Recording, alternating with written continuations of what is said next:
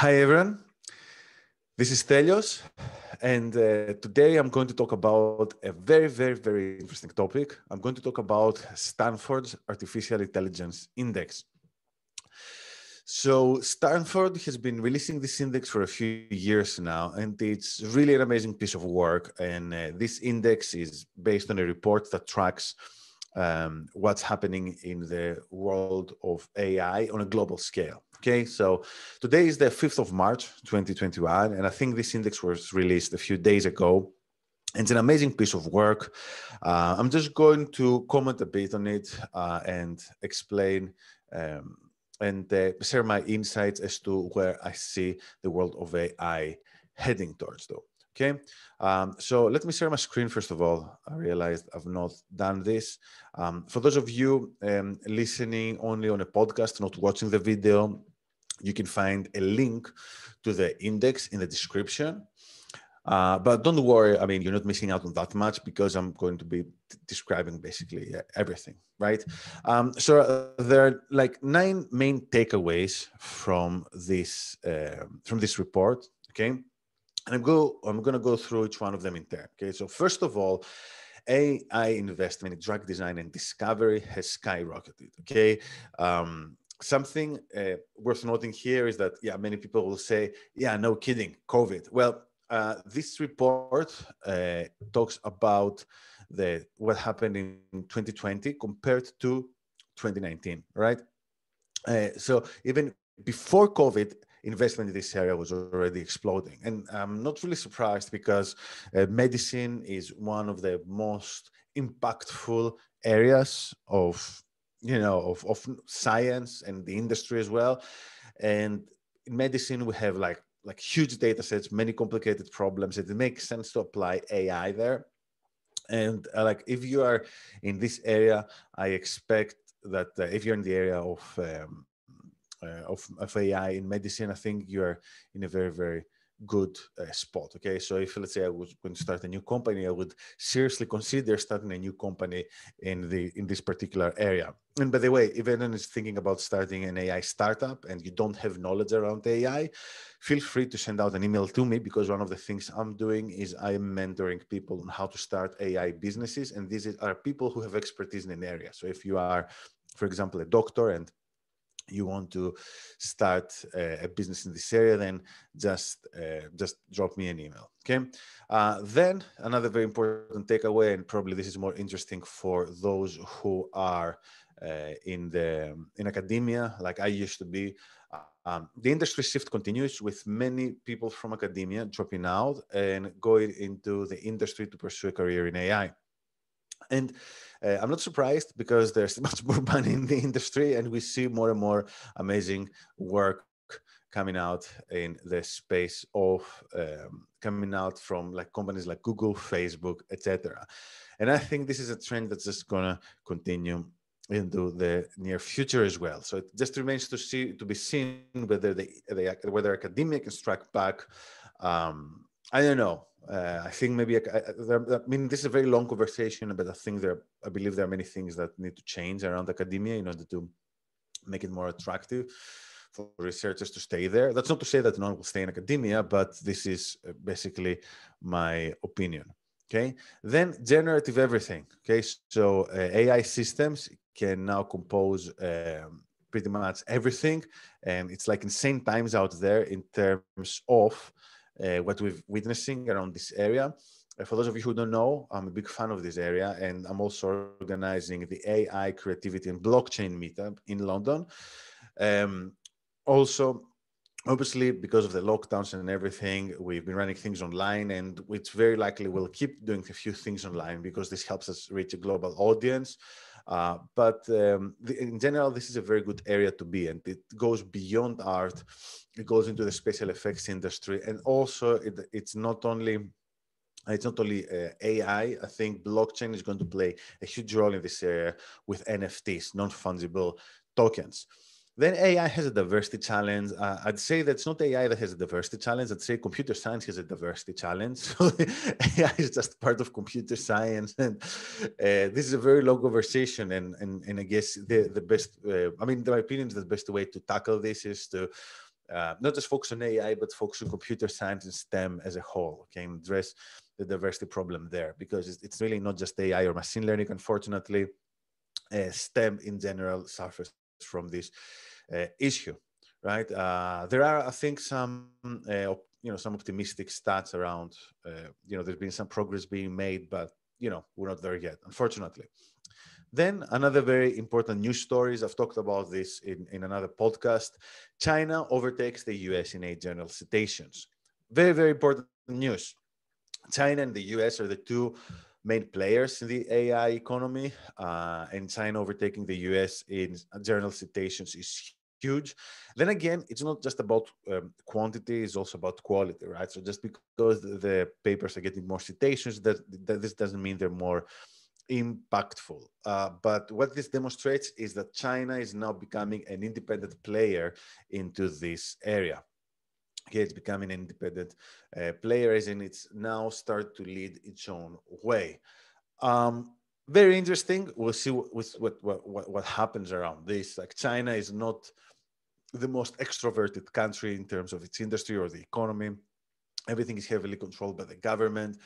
Uh, I know maybe some people, I don't know, will have their own opinions about this, but in, in, in general, the West has, um, you know, in the West, everything has been pretty open, at least with regards to research. Um, we'll see whether some of uh, some of the things taking place in China can also go over to the West, or whether the, the, Chinese government is just trying to build a competitive advantage by shielding things from the rest of the world. So, like anyone who's interested in geopolitics of AI, they should keep their eyes on this war between i mean it's not a proper war but you know what i mean between us and and china. Uh, and um, another important um, uh, sorry another um, important development uh, the majority of the us ai phd grads are from abroad. Um, i think that's something which you see in other countries. I see you see this in the uk as well where i'm based i'm based in london. And what you see is that um, you know, in domains like AI, it's like so multicultural, and you have people from like pretty much everywhere. Because um, as long as someone's smart and curious, they can be very good in AI. And I think what many people are looking for is they're looking to move into countries like people who are interested in AI to move into countries that offer more opportunities. So I think again, this this uh, pretty much this stat is the same as you know, for entrepreneurs, like many people moving in places like, you know, um, America and the UK and the EU for this for this region, right? So there's no surprise there. Um, then um, something which might might might be a bit worrying and scary is that surveillance technologies are fast, cheap, and increasingly ubiquitous. We knew this was going to come one way or another. Um, now AI has um, it makes it easy to enable some kind of Orwellian nightmare on society. Uh, and um, there are many, many, many, many ethical concerns around how this is used. Um, now, I don't know how this is going to be used, but what I can tell you is that this, we're definitely going to um, experience some very heavy ethical concerns in the near future because now that the technology has matured to a point that it can start replicating humans, right? Uh, and this gets us to point eight that AI ethics lacks benchmarks and consensus. Um, I think I'm going to be a bit pessimistic here while many people are talking about AI ethics, etc. I think that we'll see many bad things happening and then ethics following and discussions following like the atomic bomb you know so we're probably going to see something similar uh, people dropping some AI bombs and then saying, "Oh, maybe we shouldn't have done that." Um, I, I, on the plus side, I think that, uh, people are the society is more open now to talking about this. They they ask more questions, and this has been partly held by by you know telecommunications, right? So even if there are bad news, if something bad happens, it's much easier. The news are much easier to travel. So if a company tries to do something which is unethical, then bad news will hurt will hurt it much faster. A, you know, talking about uh, PR and, and and the impact of being unethical in a context. Um, so that's that's a very big topic.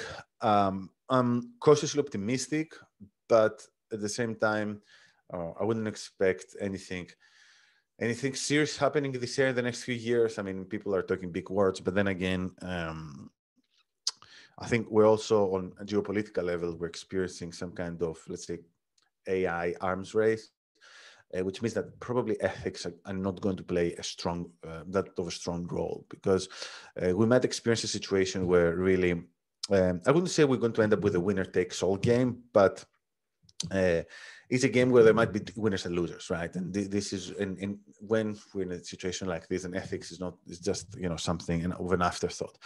And uh, finally, AI has gained the attention of the US Congress. Um, and I think that's not just the US and a few other countries. We also see like governments noticing AI a bit more.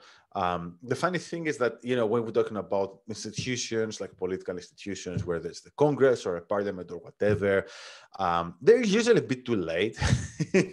like they notice things a bit too late. So I guess the fact that in, in Congress in the US has started gaining uh, the attention of uh, AI has started getting the attention of Congress.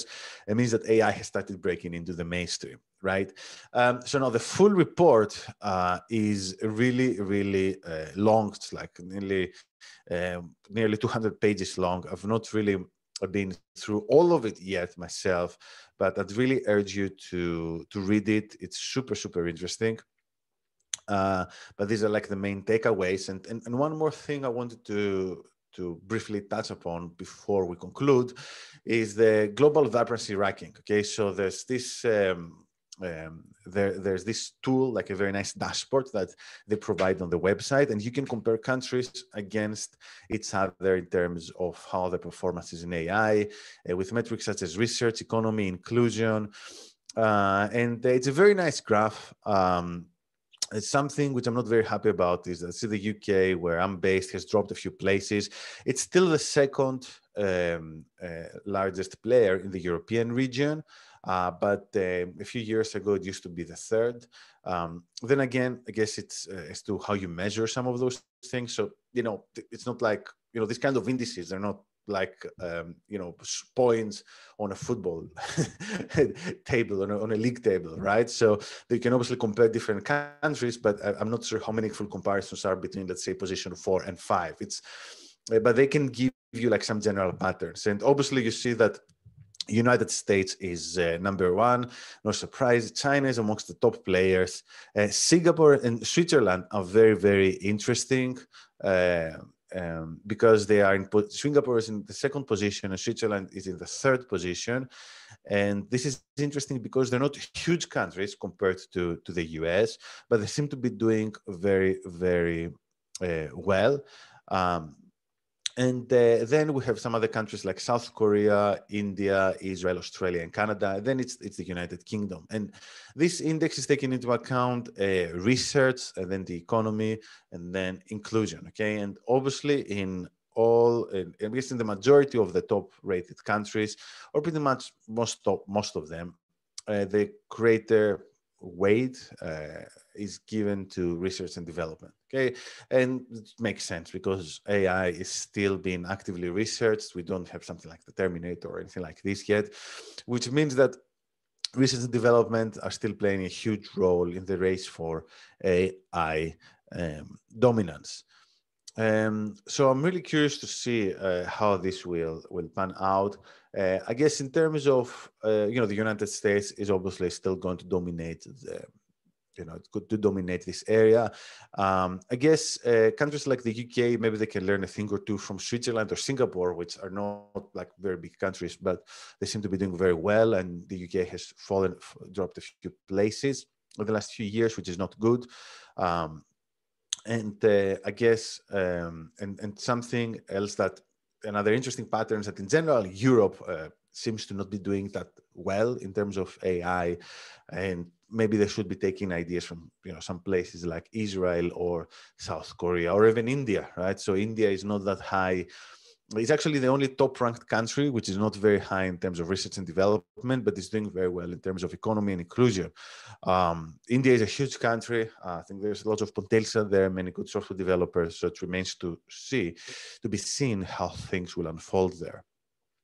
Uh, i'm not going to go into the methodology and the metrics behind the index yes that's going to be too long for what it for for this podcast. Um, but i hope this was very enlightening. Again um, i'd really urge you if if you're really interested in ai to read through the report. Uh, i might be revisiting this in a future podcast um, because there are some very some excellent uh, pieces of information in there. Um, and um, I, am really excited about the future um, and maybe a bit worried as well around some of the ethical issues that we, we mentioned. And really interested to see how things will pan out.